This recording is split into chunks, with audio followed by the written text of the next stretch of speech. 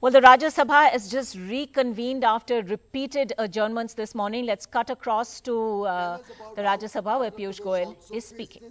And tackle this COVID, give us some good guidance for the nation to also benefit from your uh, own experiences.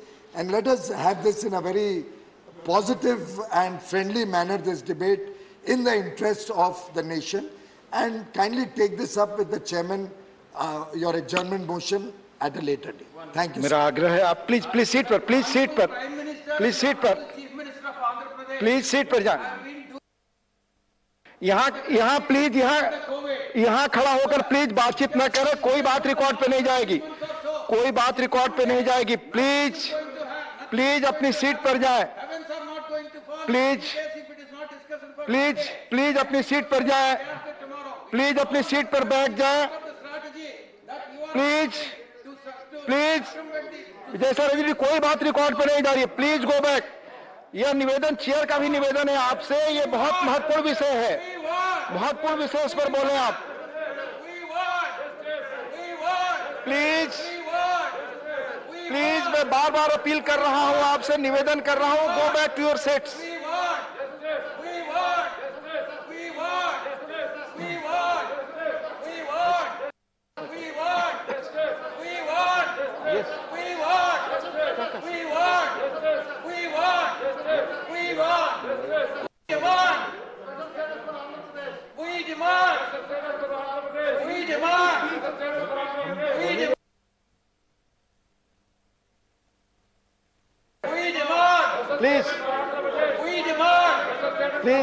We demand! We demand!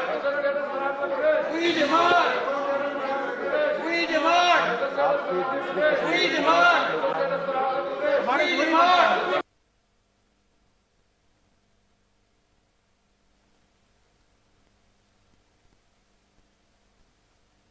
Well, high drama clearly continuing in Parliament with the Pegasus snooping row escalating, names of politicians and journalists on the list of potential targets.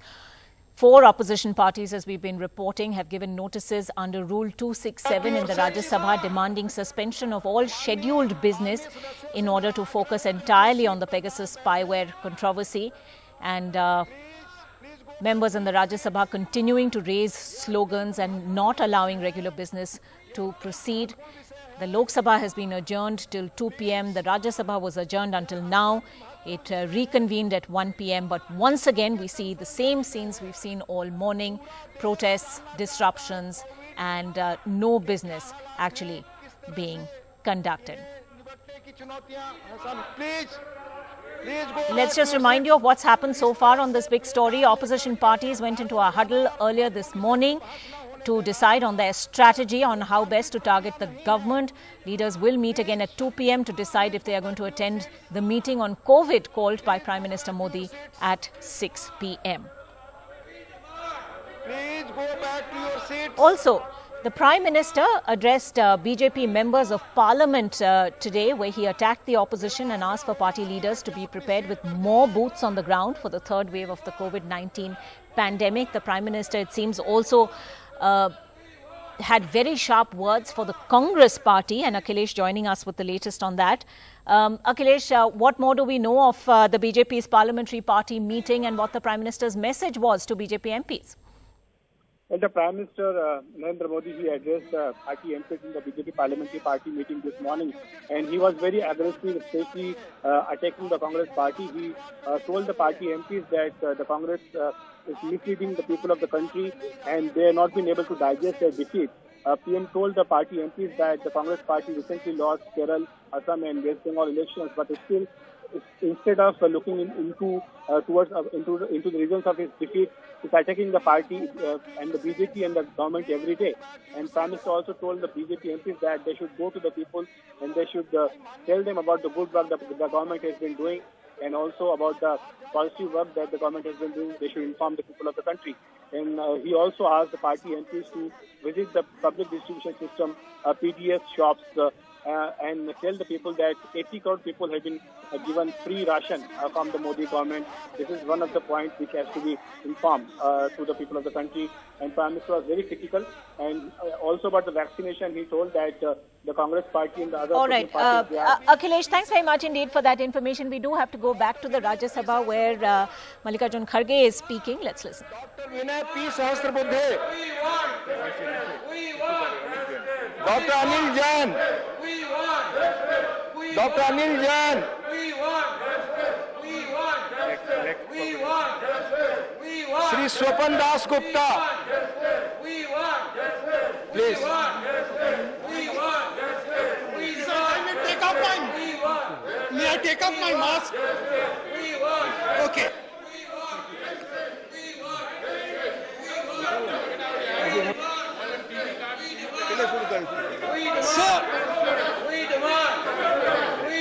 The cost of over this din, I thank you for giving me an opportunity to speak on this rather important subject, which I think is has concern not only India but the whole world. I think I would be fair in saying that when we met at the first, at the very initial point of the pandemic, there were a lot of us who believed that this would be a short-lived experience. We thought that perhaps even if 2020 was ruined, we would see a better 2021. But I think it's now very clear that not only are we talking about the second wave, क्या बोलना चाहिए क्या नहीं we are not only talking about the second wave, we are also anticipating a third wave. It may be worth pertinent if we were to go back to history, we'd find that the Spanish flu epidemic which took place at the end of World War I led to about 50 million deaths, and of which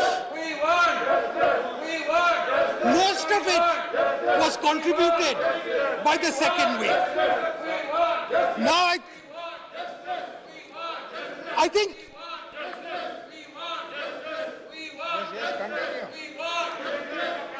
Sir, I think it's quite clear now that what we are facing is a long drawn struggle. We are facing something akin to a prolonged war. And this prolonged war is something which is not only something, which is not something which affects This is only completely- India. Please go back to your seats. which affects Please go back to your seats, Mr. Vijay Sai Reddy. This is, this is not the proper behavior. You are a seasoned and senior member. This is not proper behavior. I think I may be right in saying. This is completely if I was to unparliamentary behavior. how do we deal with such a pandemic? And I think the answers are not necessarily easy. It's not necessarily easy. If I may start by saying, sir, if I may quote a, a line, sir, it is rather difficult and distracting to talk over this. I think all the same, I'll try.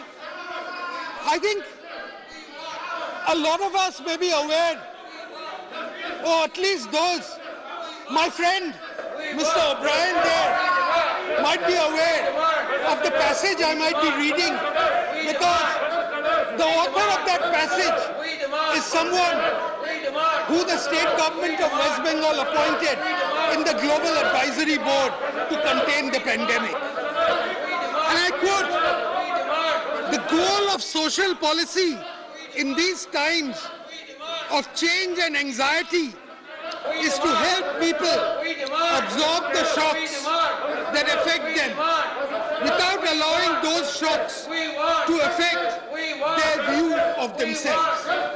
In other words, how do we cope with the crisis without destroying the very esteem of people who've been affected by the crisis? This is a quote from the Nobel Prize winning Abhijit Banerjee. I think when we, in terms of social policy, have to decide, it's basically we have to take a balance of risks. That is what it's all. Choice in this matter, policy is always about. It's about how do we balance the various risks at play. There is, of course, one way of just saying to seal off yourself from the rest of the world.